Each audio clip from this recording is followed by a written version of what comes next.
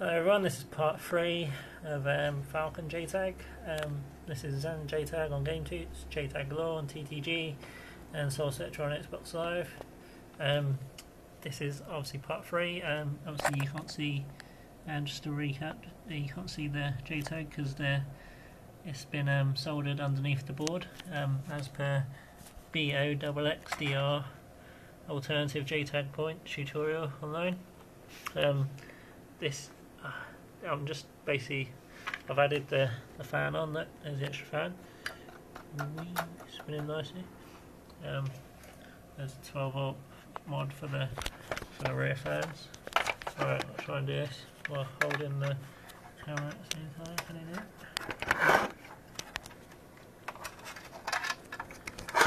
sorry if that was the terrible camera angles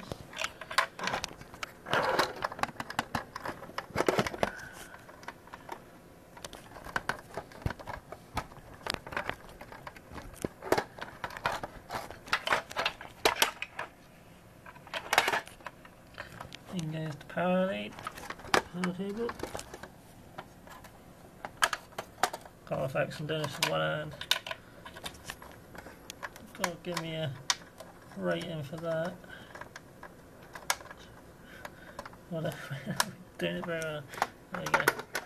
That's him. Oop. Obviously I'm going to have to wrap that point up some electrical tape before I put it all back together. But for now, that's okay. Right, fire the beastie up.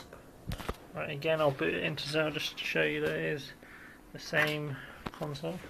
Let's go find little, and again I'll show you the back. That's how I showed the back.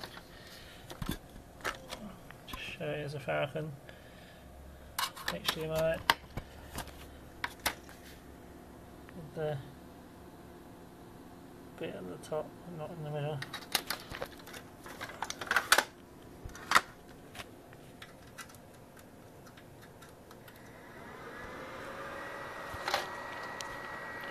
Mm.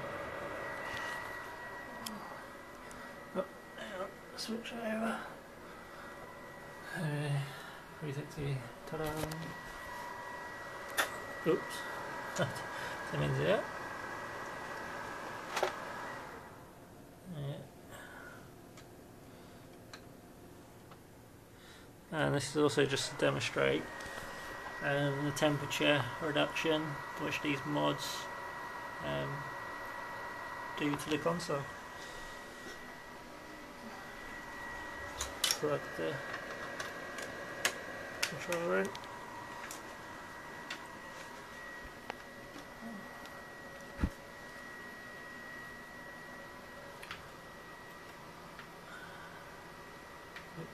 Where is it? Where's it gone? Right, again, I'll just show you the dashboard. On 199.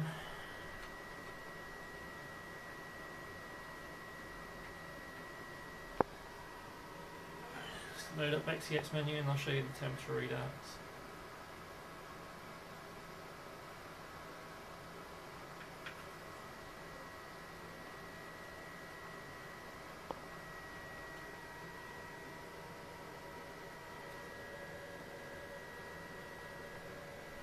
Not as much of a temperature reduction on the Falcons as you get on the Xenons, but still, it's very good. Almost at room temperature, 10 degrees above room temperature GPU.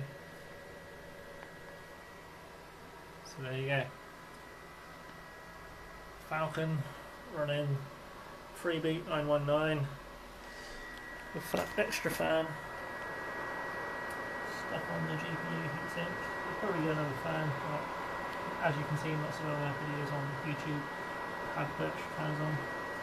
Um, some internal ones here, sucking air from outside, pushing in.